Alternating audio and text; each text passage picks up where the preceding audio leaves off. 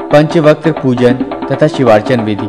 सूत जी ने कहा, हे ऋषियों, अब मैं पंचमुख शिव की पूजा का वर्णन करूँगा, जो साधक को भुक्ति और मुक्ति दोनों प्रदान करती है। साधक को सबसे पहले मंत्र से उन देव का आवाहन करना चाहिए। पुनः, ओम हाम सद्योजाताय नमः कहकर साधक सद्योजात का आवाहन करे। इन सद्योजात की आठ कलाएँ कही गई हैं। उनका नाम सिद्धि, रिद्धि, धृति, लक्ष्मी, मेधा कांति, स्वधा और स्थिति है। सद्योजात की पूजा करने के पश्चात ओम सिद्धये नमः इत्यादि मंत्रों से उन सभी आठ कलाओं की पूजा करने का विधान है। तदनंतर ओम हीम वामदेवाय नमः। इस मंत्र से साधक वामदेव की पूजा करे।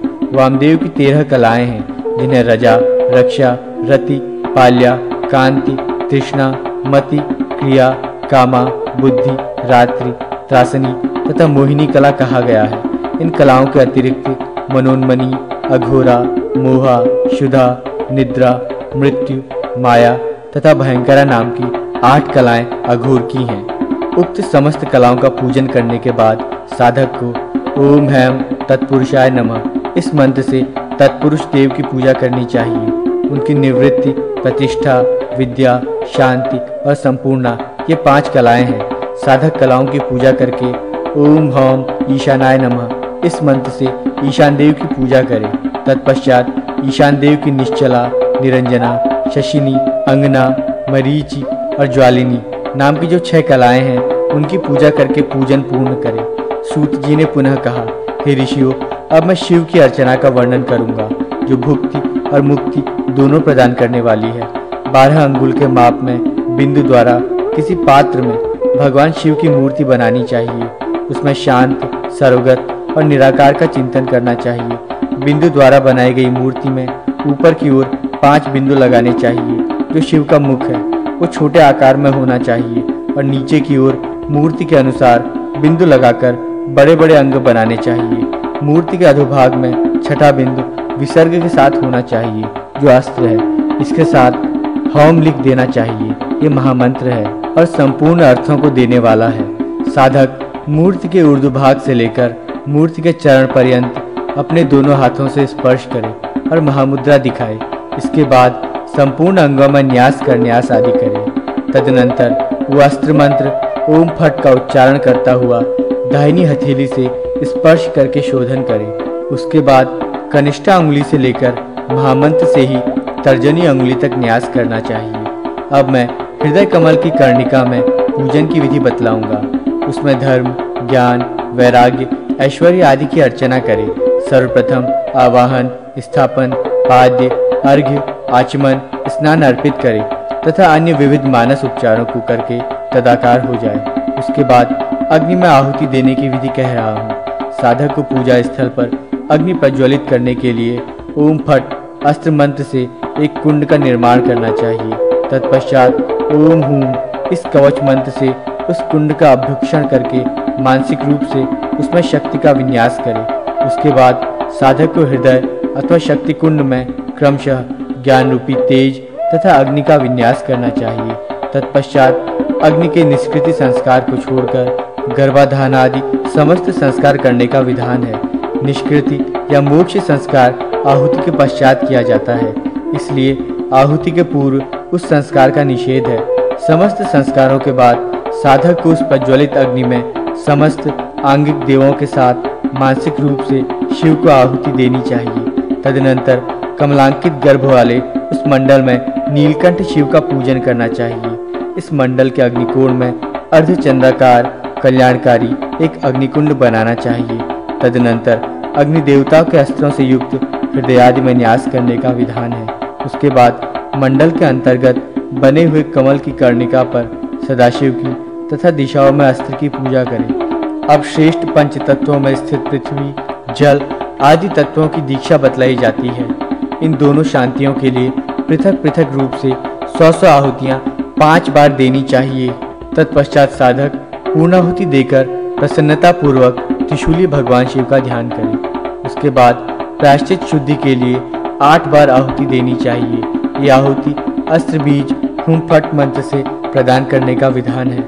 इस प्रकार संस्कार से शुद्ध हुआ वो साधक निस्संदेह शिव स्वरूप हो जाता है। शिव की विशेष पूजा में साधक को चाहिए कि वो प्रथम, ओम हम आत्म तत्वाय स्वाहा, ओम हीम विद्या तत्वाय स्वाहा, तथा ओम हूम शिव तत्वाय स्वाहा, ऐसा उच्चारण करके आचमन करे।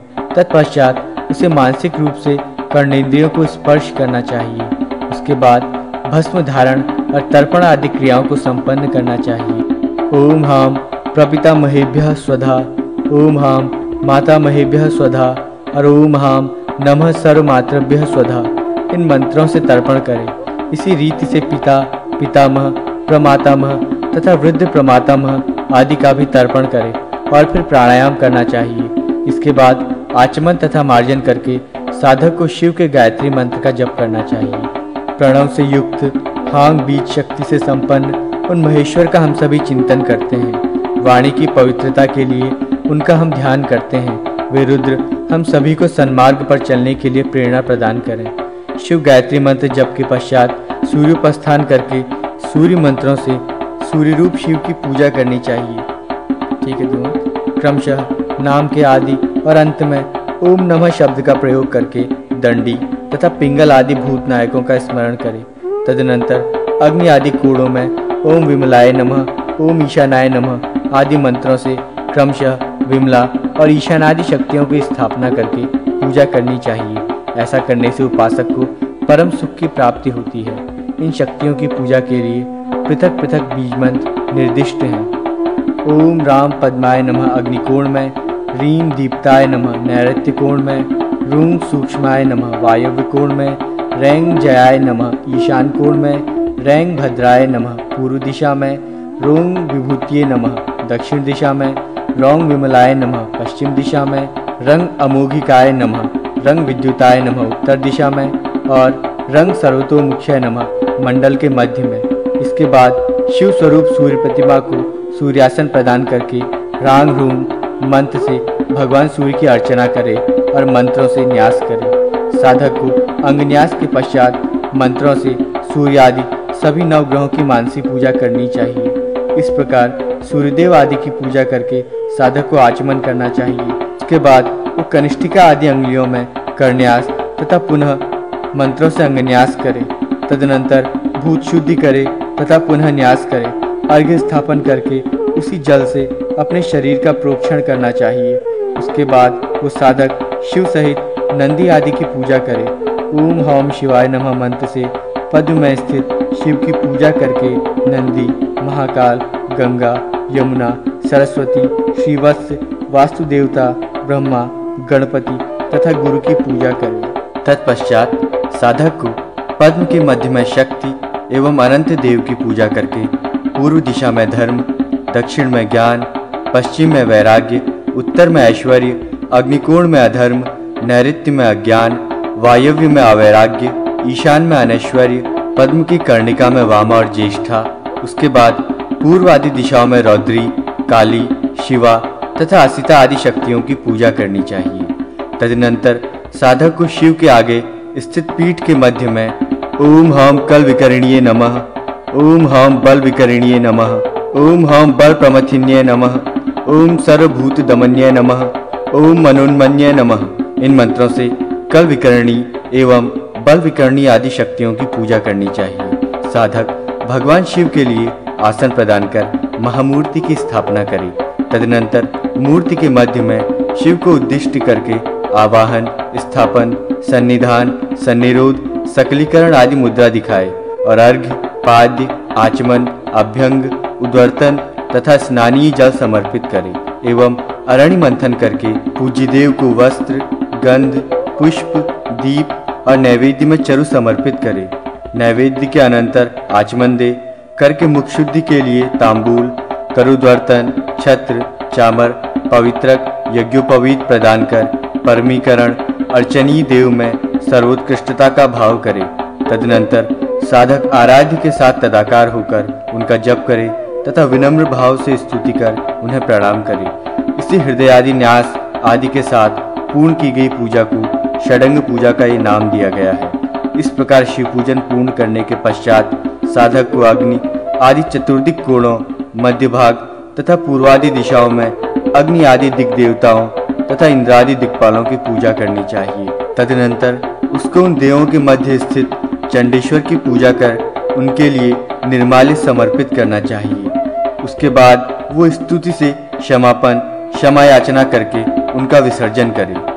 हे प्रभु, आप गुह्य से गुह्य तत्वों के संरक्षक हैं। आप मेरे किए हुए जप को स्वीकार करें।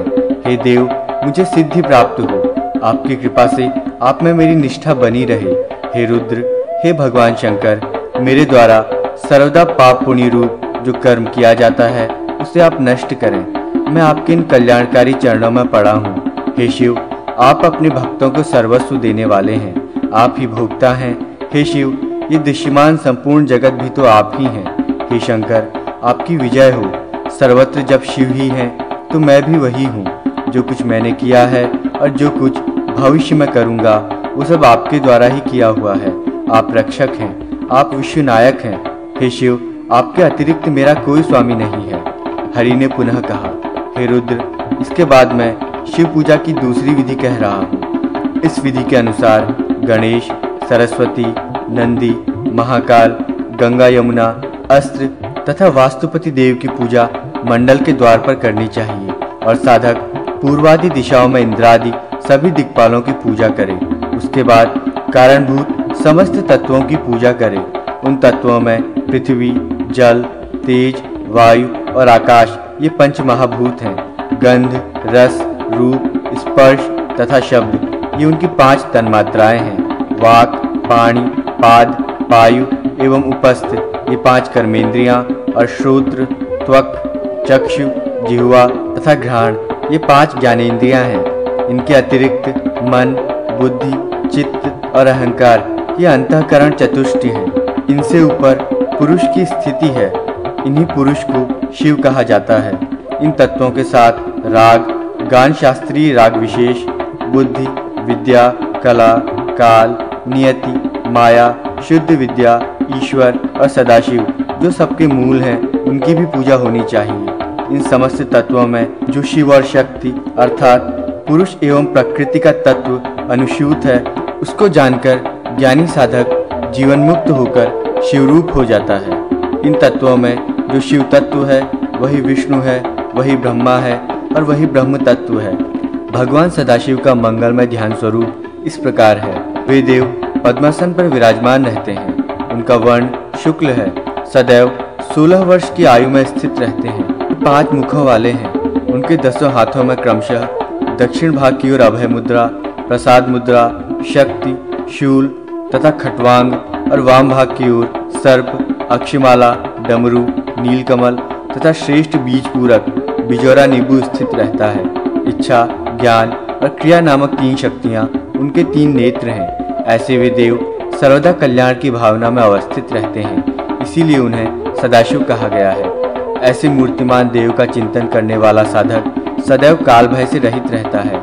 इस प्रकार शिवोपासना करने वाले साधक की न तो अकाल मृत्यु होती है और न शीत तथा उष्णादि कारणों से ही उसकी मृत्यु होती है। भगवती त्रिपुरा तथा गणेश आदि देवों की पूजा विधि। सूत जी ने कहा अब मैं गणेश आदि देवों की तथा त्रिपुरा देवी की पूजा को कहूँगा, जो अपने भक्तों को सर्वदा अभीष्ट प्रदान करने वाली तथा श्रेष्ठ है। साधक को सबसे पहले गणपति देव के आसन एवं उनके मूर्त स्वरूप का पूजन करके न्यासपूर्वक उनकी पूजा करनी चाहिए। साधक गांग आदि बीज मंत्रों से हृदय आदि न्यास करे। इस न्यास के पश्चात साधक को ओम दुर्गाया पादुकाभ्याम नमः, ओम गुरु पादुकाभ्याम नमः मंत्र से माता दुर्गा और गुरु की पादुकाओं को नमस्कार करके देवी त्रिपुरा के आसन और मूर्ति को प्रणाम करना चाहिए। तत्पश्चात वो साधक, ओम ह्रीम दुर्गे रक्षिणी, इस मंत्र से हृदय आदि न्यास करे और फिर इसी मंत्र से रुद्रचंडा, प्रचंड दुर्गा, चंडोग्रा चंड नायिका चंडा, चंडवती चंड रूपा चंडिका तथा दुर्गा इन नौ शक्तियों का पूजन करे। तदनंतर वज्र, खंग आदि मुद्राओं का प्रदर्शन कर उसके अग्निकोण में सदाशिव आदि देवों की पूजा करे। अतः साधक पहले ओम सदाशिव महाप्रेत पद्मासनाय नमः कहकर प्रणाम करे। तत्पश्चात ओम एम क्लीं ह्रीं सौम त्रिपुराय नमः ये मंत्रोच्चार करते हुए उस त्रिपुरा शक्ति को नमस्कार करे। साधक उसके बाद भगवती त्रिपुरा के पद्मासन, मूर्ति और हृदय आदि अंगों को प्रणाम करे। तत्पश्चात उस पद्म पीठ पर ब्रह्माणी, माहेश्वरी, कौमारी वैष्णवी, वाराही, इंद्राणी, चामुंडा और चंडिका इन आठ देवियों की पूजा करें। इन देवियों की पूजा के बाद भैरव नामक देवों की पूजा का विधान है। असितांग, रुरु, चंड, क्रोध, उन्मत्त, कपाली, भीषण तथा संहार नाम वाले ये आठ भैरव हैं। भैरव पूजा के पश्चात रति, प्रीति, कामदेव, पंचबाण, योगिनी, बटुक, दुर्गा, विघ्नराज गुरु और क्षेत्रपाल देवों का भी पूजन करें। साधक को पद्मगर्भ मंडल या त्रिकोण पीठ बनाकर उस पर और हृदय में शुक्ल वर्ण वाली वरदायिनी, अक्षमाला, पुस्तक एवं अभय मुद्रा से सुशोभित भगवती सरस्वती का भी ध्यान करना चाहिए। एक लाख मंत्र का जप और हवन करने से भगवती त्रिपुरेश्वरी साधक के लिए सिद्धिदात्री हो जाती है। पूजा में देवों के आसन तथा पादुका की पूजा का भी विधान है। विशेष पूजन में मंत्रन्यास तथा मंडलादि पूजन भी करना चाहिए। सर्पों एवं अन्य विषैले जीव जंतुओं के विष को दूर करने का मंत्र। सूत जी ने कहा, अब मैं सर्पादि विभिन्न विषैले जीव जंतुओं के काटने से कष्ट पहुँचाने वाले विष को दूर करने में समर्थ मंत्र को कह रहा हूँ। इस मंत्र का प्रयोग करते समय माहेश्वरी उमा देवी से प्रार्थना करें कि, हे उमे, तुम रुद्र के हृदय में उत्पन्न हुई हो और उसी में रहती हो। तुम्हारा रौद्र रूप है। तुम्हें रौद्री भी कहा जाता है, तुम्हारा मुख ज्वाला के समान जाज्वल्यमान है, तथा तुमने अपने कट प्रदेश में क्षुद्र घंटिका लगी करधनी पहन रखी है। तुम भूतों की प्रिय हो, सर्पों के लिए विश्वरूपिणी हो, तुम्हारा नाम विरत नारायणी है, तथा तुम शुक मुंडा हो और कानों में शंकु पहनी हुई हो।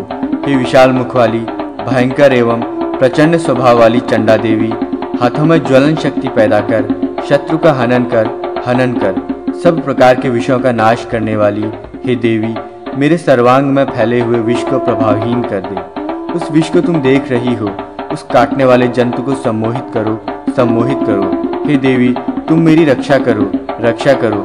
इस प्रकार प्रार्थना एवं चिंतन करके ह्रूम माम ह्रूम हपप ठट इसका उच्चारण करें, तथा स्कंद की मेखला रूपी बाल ग्रहों शत्रुओं और विषयों का हरण करने वाली हे शाला माला नाना प्रकार के विषयों के वेग का हरण कर हरण कर, ऐसा उच्चारण करें और हांग हांग शवरी हुम, शवरी कहकर वेगपूर्ण गतिशीलों में अगतिशील, सर्वत्र व्यापिनी, मेघमाला रूपिणी देवी, मेरे सभी नागादि विष जंतुओं से उत्पन्न विष का हरण करो। इस प्रकार चिंतन और प्रार्थना करते हुए, रोगी के प्रति स्पर्शादि करते हुए मंत्र पाठ करें।